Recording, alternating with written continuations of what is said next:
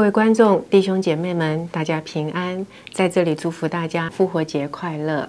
我是辅仁大学外语学院的宗教辅导，我叫吕慈涵，很高兴能够在复活节第五主日的这段时间啊，跟大家一起分享接下来一周的福音。在进入今天的分享前，我愿意邀请各位观众，手边是不是可以有一本圣经，而且开始翻开《若望福音》第十四章。让我们不只是在听圣言、听道理，我们更要养成随时翻阅圣经的好习惯。我们的慈母教会安排全球的基督徒们，会按照耶稣的生命轨道来散度每一天的日常生活，来为基督做见证。复活期的第五个主日，教会为我们安排《若望福音》第十四章到第十五章的范围。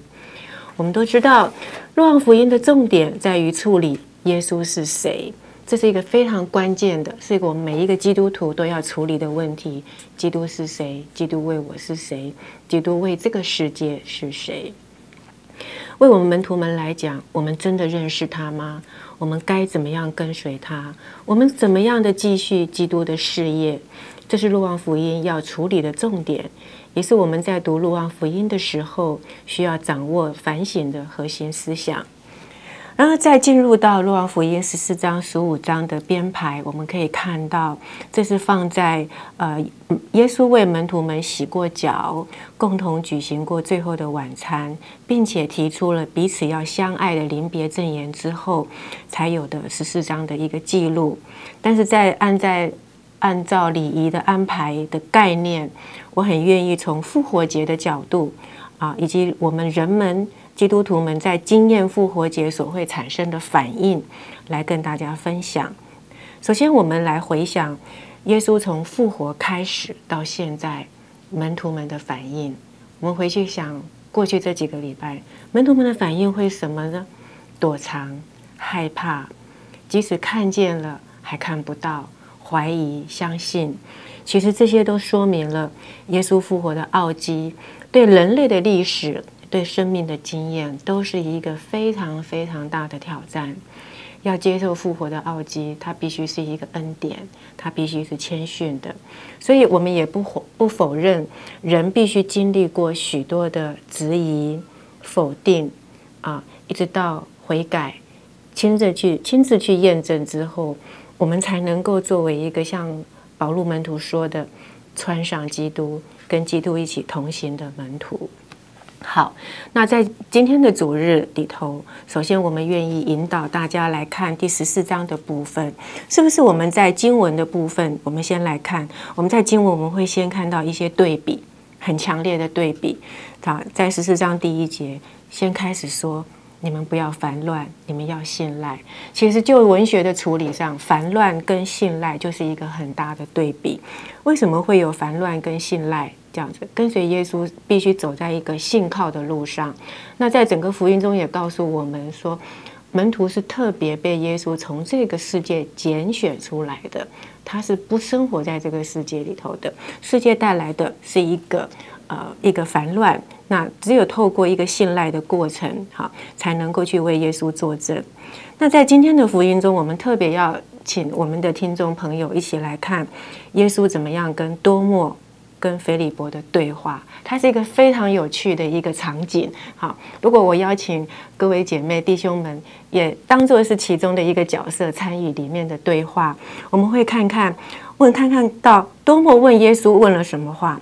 多么他不知道耶稣要去哪里，但是耶稣回答说：“你不要管我去哪里，但是你要经过我。”好，那耶稣也对着多莫提出了一个挑战：“你们如果认识我。”哎呀，这个对多莫来讲，怎么可能不认识呢？跟耶稣这么久了，可能怎么还不认识呢？复活后的耶稣要跟我们讲的认识是另外一个认识，它是一个建立深度生命分享关系的认识，也是等一下在未来的这一周我们要谈的一个重点。我们如何认识耶稣，跟他建立关系？那我们再来看看，腓利伯又问了耶稣什么样的话，很很好玩，对不对？那么多门徒跟耶稣生活这么久，还要问那么陌生的话，特别又是在耶稣复活再提出来，所以这个就印证到了洛王福音他要处理的问题：耶稣到底是谁？好，那菲利伯问说：“主啊，把父显示给我吧。”耶稣却回答说：“菲利伯呀，那么长的时间你跟我相处，你还不还不认识吗？啊，所以原来不是原来菲利伯所认识的那个耶稣。好，所以在这里，呃，复活的讯息给我们提出一个很大的挑战。菲利伯不但还不认识耶稣，也不知道耶稣要去哪里。所以这个是整个复活的奥迹，要我们用每一次现在的生活去验证，跟基督一起走这一条路。”好好，那各位听众朋友，我们也想一想，如果现在复活的耶稣就站在我们中间，你要问他什么问题？你有问题可以问他吗？其实我们我们并不担心你问耶稣问题，我们更担心的是你不知道要问耶稣什么。好，如果一个啊基督徒对自己的信仰没有开始质疑跟挑战，那就没有所谓的追寻。所以借着今天的福音，我们是不是可以反省？好。这两位门徒的问题，是不是也是我们每一个人的问题？而耶稣最后他说：“我实实在在告诉你们，凡相信我的，我所做的事业，他要他也要去做。什么是耶稣的事业？我们想过吗？